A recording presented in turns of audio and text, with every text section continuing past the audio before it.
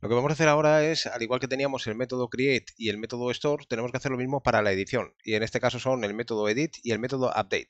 Eh, se van a aparecer mucho, así que, por ejemplo, lo que podemos hacer es copiar el método create, podemos bajar aquí abajo y en lugar de create le vamos a decir que va a ser edit. Aquí le vamos a pasar el category directamente, como verás eh, lo vamos a poder recibir de forma automática sin que hagamos nada más y en lugar de create pues en este caso le vamos a decir que va a ser edit, algo que todavía no tenemos pero que vamos a crear y que vamos a modificar. Vamos a poner que queremos crear la vista y aquí ya tendríamos toda la información. Fíjate que en category lo que vamos a hacer es en lugar de utilizar el repositorio vamos a pasarle directamente la categoría, ¿bien? Que es el dato que nosotros ya tenemos a través del router y que te voy a explicar a continuación, no te preocupes. Además, aquí en lugar de una petición eh, post va a ser una petición put y aquí en lugar de crear va a ser eh, actualizar. Bien, vamos a poner los textos así y lo que tenemos que hacer ahora es cambiar esta ruta de aquí, que es la ruta que vamos a tener que generar para poder hacer la actualización. La ruta en este caso va a ser update y aquí simplemente le vamos a pasar la categoría. Con esto tenemos más que suficiente. Bien, se va a generar la URL correspondiente y ya tendríamos lo que es la lógica para poder mostrar el formulario de edición. Antes de continuar, vamos a pararnos aquí. Eh, lo que estamos inyectando aquí, estamos inyectando la categoría, que sería el modelo. Eh, vamos a hacer un RD con RAI, eh, vamos a decir category. El RD es como el DD del Laravel hace un DAI, ¿bien? Entonces no va a continuar lo que es la petición. Vamos a venir aquí al debug, no hay nada, y vamos a pulsar en editar. Bien, fíjate que se queda en blanco. Si venimos aquí a mirar la información, fíjate que ya tenemos aquí la información. Es decir, eh, el DD que hemos puesto, que es un RD en verdad de array, eh, lo que hace es volcarnos toda la información y parar el proceso. No continúa. Si nosotros estuviéramos mostrando la vista o haciendo cualquier cosa, directamente no se mostraría. Bien, se quedaría la pantalla como la tenemos, una pantalla en blanco. En este caso, como puedes ver, estamos recogiendo toda la información. Una cosa que no me había parado a mostrarte es que el Slack se está generando correctamente cuando damos de alta una categoría.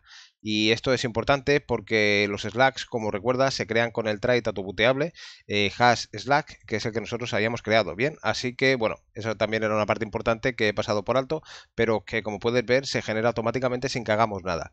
Eh, el resto, puedes ver que se ha creado correctamente. Aquí tendríamos el pad de la imagen y tendríamos todo el modelo.